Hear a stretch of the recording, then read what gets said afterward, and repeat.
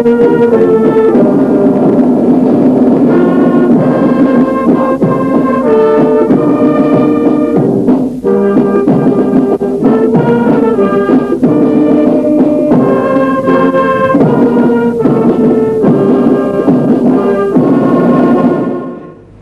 fellow Nigerian brothers, sisters, and friends of Nigeria,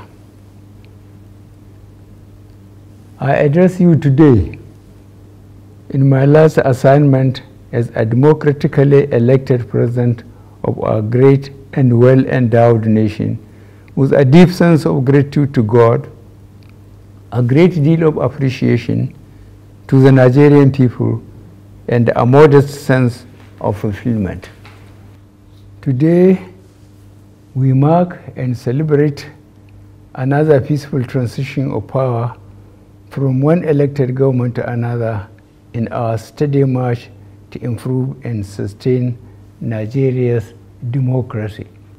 This year, we witnessed the most keenly contested presidential elections since the first republic, and this demonstrates that our democracy is getting better and more entrenched with each election. We must, as a nation, improve and sustain gains we made in the electoral process on an incremental basis for Nigeria to take its rightful place among nations.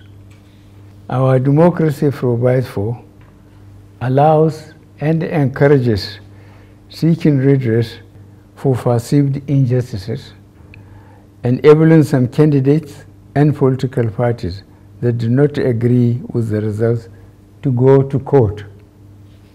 Irrespective of the outcome of the various cases, I urge all parties involved to accept the decision of our courts and join hands to build a better Nigeria.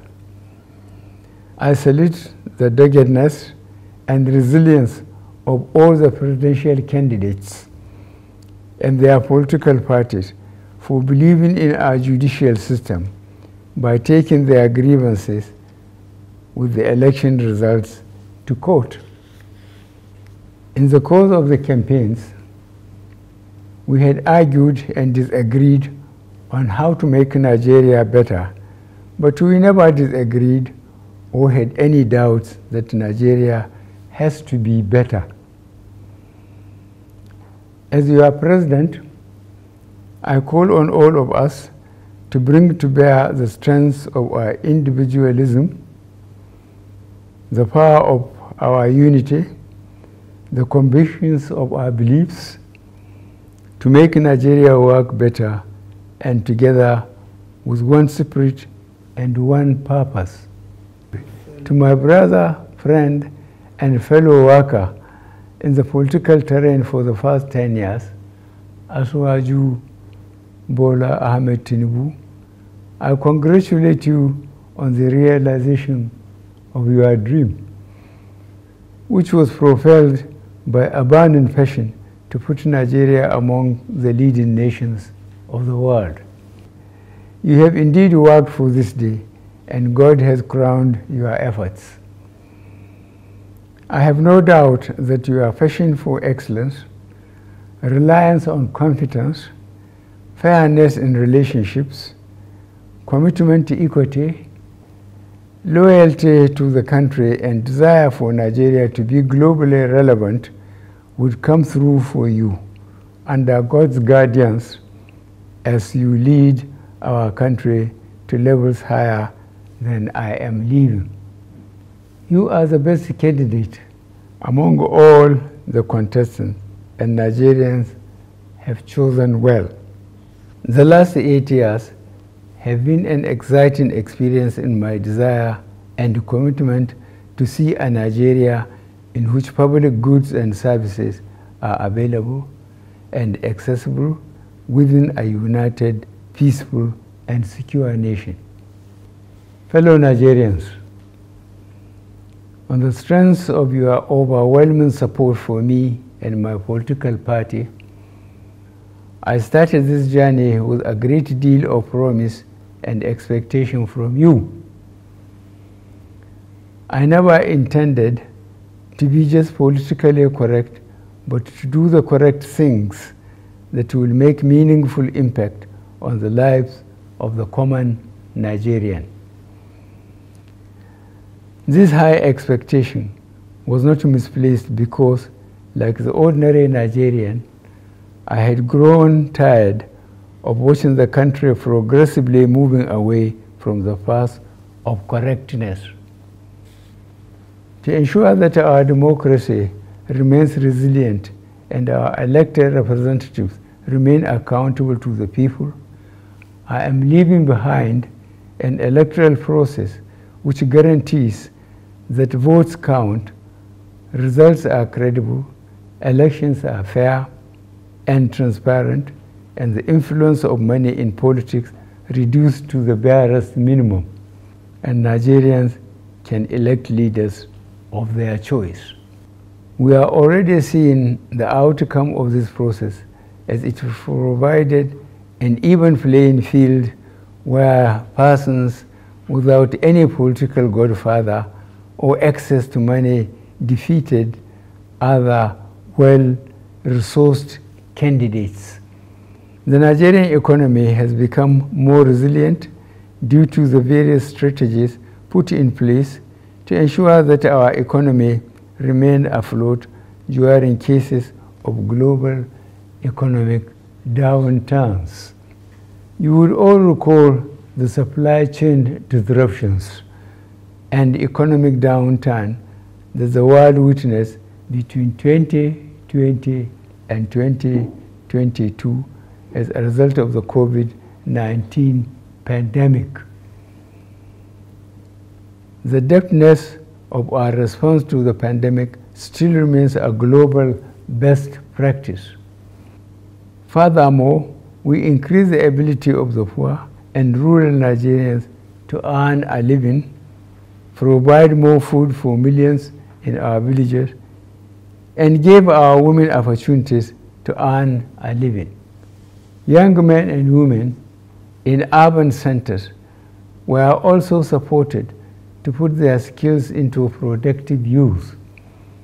Our administration also provided an enabling environment for the private sector to engage in businesses for which their return on investment is guaranteed. The private sector proved a strong partner in our drive to build a resilient and sustainable economy as evidenced by the growing number of turnkey projects in various sectors of the economy.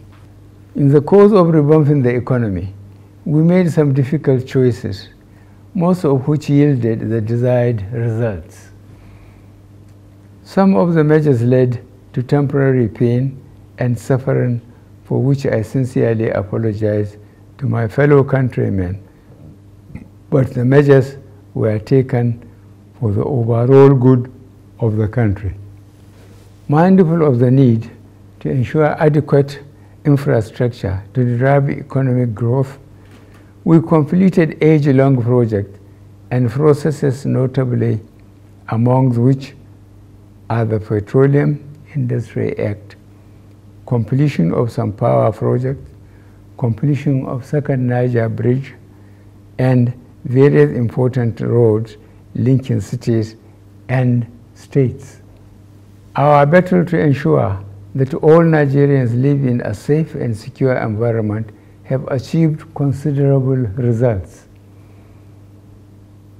As I complete my term in office, we have been able to reduce the incidences of banditry, terrorism, armed robbery, and other criminal activities considerably. To sustain the gains made so far, I call on all Nigerians to be more vigilant and support the security agencies by ensuring that our values defined by being your brother's keeper govern our actions. Up till now, I still grieve for our children still in captivity, mourn with parents, friends, and relatives of all those that lost loved ones in the days of the senseless brigandage and carnage. For all those under unlawful captivity, our security agencies are working round the clock to secure their release unharmed. Fellow Nigerians, you know how dear the desire in my heart to rid the country of corrupt practices that had consistently diminished our efforts to be a great country. I did pursue this commitment relentlessly, in spite of the expected pushback. I am happy that considerable progress had been made in repatriating huge sums of money back to the country and also taken over properties illegally acquired from our commonwealth.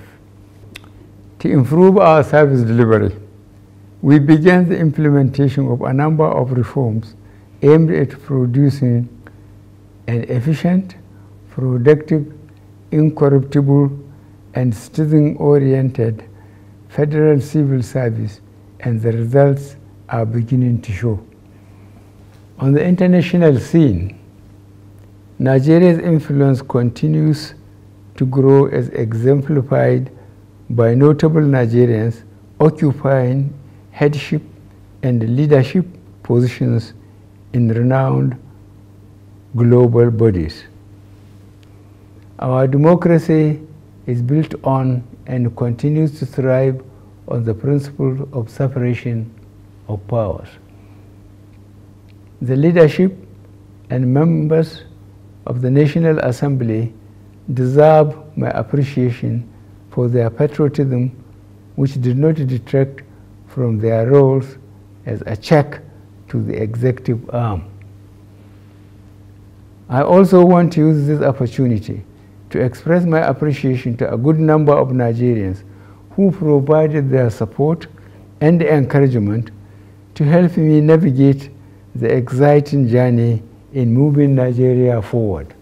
I cannot and will not forget the millions who prayed for me during my illness in my first term of office. I am constantly praying for you and for Nigeria to thrive in peace. As I retire home to Daura, Katsina State,